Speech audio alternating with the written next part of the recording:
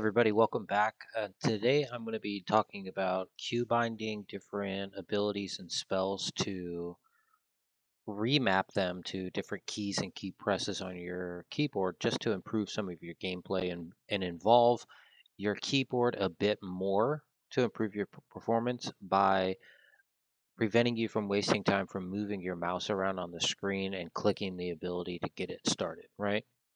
Uh, so I'm going to walk you through a couple steps. I'm going to talk you through the key binding process. I'm on a brand new character here that I've insta leveled to 50 today, and I'm going to show you how to map your key binds, how to how to look those up. Just a quick side note here, the examples I use today are really just examples. I don't use all of these on a normal basis. I do use the functionality of what I'm teaching you, but I don't specifically bind these spells or styles to the same keys that I do in normal gameplay. These are really just for example and showcasing something for you to today. First, we're going to do swapping to a melee weapon, then doing a side style, and then we're going to try and equip the harp again so that we lose as few chances as possible. We're going to learn how to use Q-bind. So what are Q-binds? Q-binding is, if you type slash Q-bind, you're going to bring up a, a map list of where all your keys are Q-bound to and this is separate from the slash keyboard function. So now that you know how to see the list, we're going to talk about how we're going to bind these to certain keys. So I have this to show you a specific example and, and what all the different numbers mean. I have my normal quick bars. This is quick bar 1, my default quick bar. And I'm going to mouse wheel it back to bank number 10. Okay? So in this example, the bank number is your first number in your quick bind. So you Q bind and then we're going to do the number of the bank, which is 10. We're going to do the slot number, which is 1. And it's what default quick bar is it? Is it quick bar 1, is it quick bar 2, or is it quick bar 3? So it's quick bar number 1. We're going to do that. And the very next key we press is going to be where we bind this key. So I'm going to bind this one to F2 just for the sake of these examples. The next style that we want to key bind here is our side style. So we're going to key bind 10, which is the bank number, 2, which is the slot number, and the default quick bar, which is 1. And we're going to map that to F3. Now to map the re-equipping of the harp, we're going to map this one to F4. So we're going to Q bind 10, 3, 1, and we're going to do that to F4. So now if I bring up my list again, you're going to see where I have these if you ever need to see where you have something look up if you haven't played a character in a while. So now if we move over to this, I'm gonna I have a dummy here targeted. What I'm gonna try to do is with these on Qbind, I'm gonna try to use these hotkeys that I've created to side style, snare, and re-equip. Boom, and you can see I perform the animation and my harp is still out. Let's see how many chance I get back.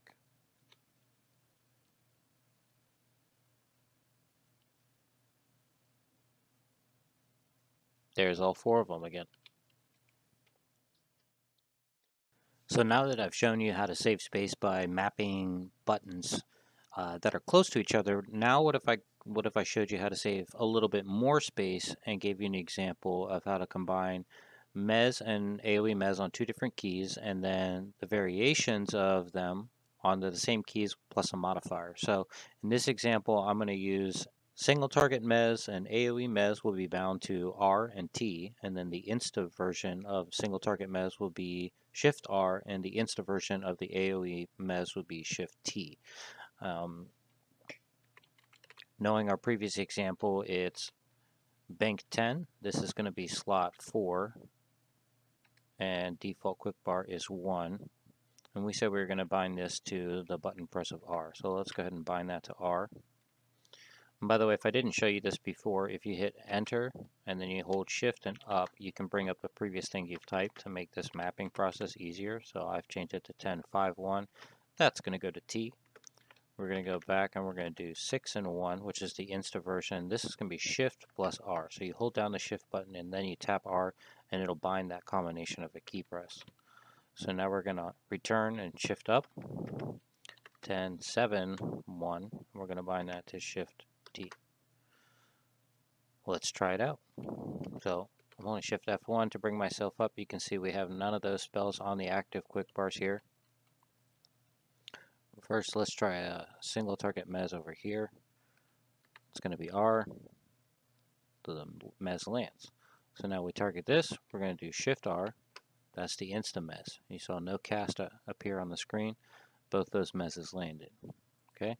So now we have AoE mez. Eh, we'll probably go do this over here. See how much of it lands. That's T. And if we run over this way, do Shift T, and we've got the AoE mez over there on the right, and we've got the Insta mez over here on the left.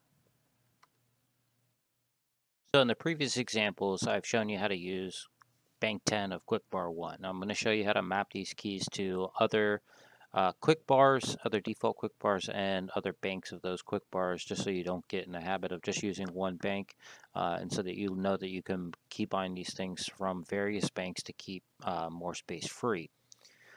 If you don't know how to bring up the second and third QuickBar, by the way, slash quick bar 2, and I believe it's 0, makes it go away. I shift up plus return from the last uh, thing just to break this easier and 1 will turn it back on. Okay, so if you wanted to do the same thing with QuickBar 3 and 1, that makes it active, 0 makes it unactive. You can also access these things in the options, but I like to use uh, Q-binds and hot presses just to make things easier. So in this example, we're going to show you how to use, I'm going to teach you a couple things here. We've already got the weapon mapped to F2, so we hit F2 and we've got up and brought up our weapon here. We're going to be attacking the dummy, but I'm going to show you how to use a side style, which I've already shown you how to do, but we're going to back it up with the anytime style, which comes from our champion line. So say I have pets on me, and I want to clear those. I might use my champion ability, which is resilience, which is going to be a bit of endurance, but it also has a chance to proc 30 heat damage and we're gonna we're gonna pair that up with a backup style. And we're gonna stick to the dummy, and we're gonna show you how uh, backing up your melee styles will be helpful in addition to having them Q bound. Uh, we're also going to show you how to do DDs while you're doing that as well. So we're going to map the DDs here first. So we're going to do Q bind, bank number 10, slot number 8, key press, uh, I'm sorry, Q quick bar 1. And we're going to bind that to F5. We're going to do our second DD, which is in slot 9, quick bar 1, bank 10, and we're going to bind that to F6. Now we're going to do an example where we're going to do some spells and items that are on quick bar 3, bank 3, and we're going to we're going to put those near each other as well. In this example, we're going to do the side snare on our minus button and the anytime backup from the champion abilities on our equal button so we're going to do this. This is bank 3 of quick bar number 3. So you can see quick bar 3, the modifier for this is control. So you can access these doing control 5, control 6.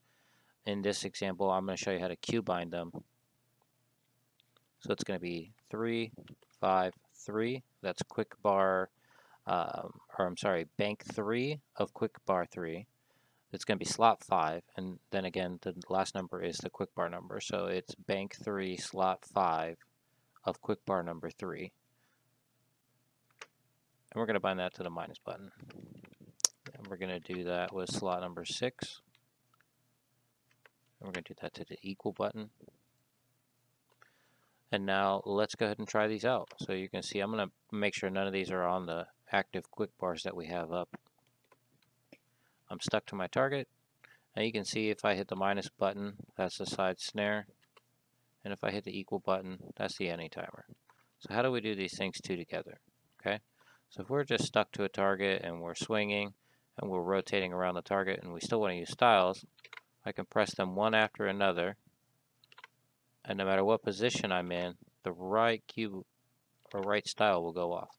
So in this example, what I'm doing is I'm pressing the side snare first and I'm setting the any timer as a backup. By doing this, if I'm in position for the side snare, it's going to automatically attempt the side snare. If I'm outside of the arc for the side snare, it's going to automatically attempt to do the any timer. Now let's do it while stacking our DDs.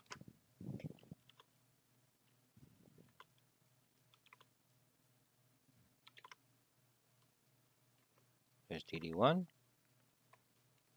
DD2 got resisted.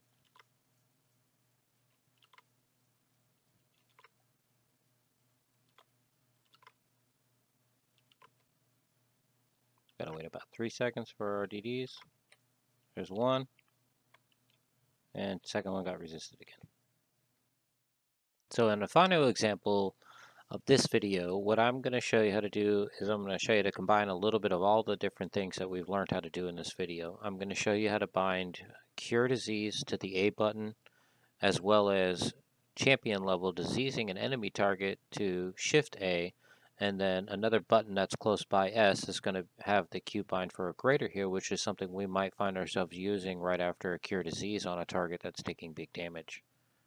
So to do this, we're going to go ahead, Q bind, it's bank 3, it's slot number 7 of quick bar 3.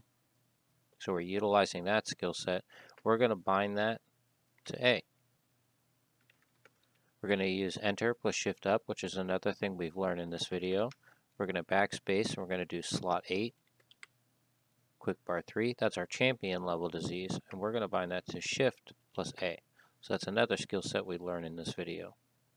And in the final example, we're going to do 9, quick bar 3, and that's going to be the S button. So both these, all these abilities are, are bound near each other. I guess to expand upon this greater, we probably could have done a major heal on A and a greater heal on shift A. So let's go ahead and put these things to use. So in this example, Shift A would be champion level disease, A would be cure disease, and then S for the greater heal right after. I haven't taken any damage. Well, let's go ahead and take some.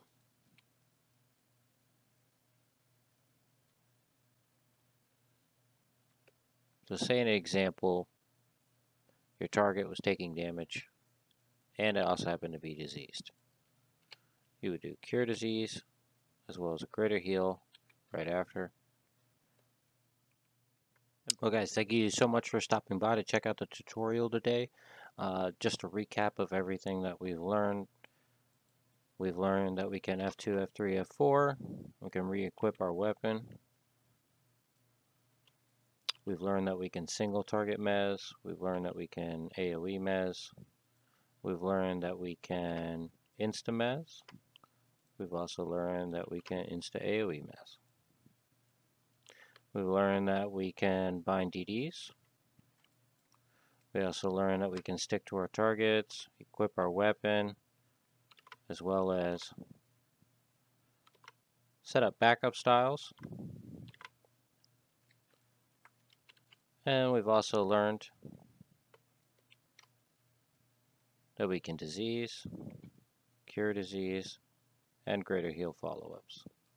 Thanks again for watching guys. I hope I've taught you a couple things that can free up space on your quick bars as well as improve performance by not having to stumble for where on your many multitude of hotbars your spell or style might be and to get these things closer together as well as show you how to just utilize your keyboard more in general, how to keep things closer to each other using the F2 functions, uh, keys that you might have on your keyboard, or using shift modifiers to use a spell and a variation of that spell on the same button, or, or a different type, you know, whether it was cure disease or an attacking disease, whether uh, it was a single target mez or an insta version of the mez it's able to map and save space and keep everything close to each other so that you could do everything all within uh, a short stretch of your fingers and not tax yourself. I know if you're like me, you're probably getting a little bit older. Carpal tunnel has started to set in from all the video gaming that you're doing, or maybe you're just a little bit slower as you've aged, or maybe you're just looking in general to be a better player. And hopefully, this tutorial helped you in one way or more than one way.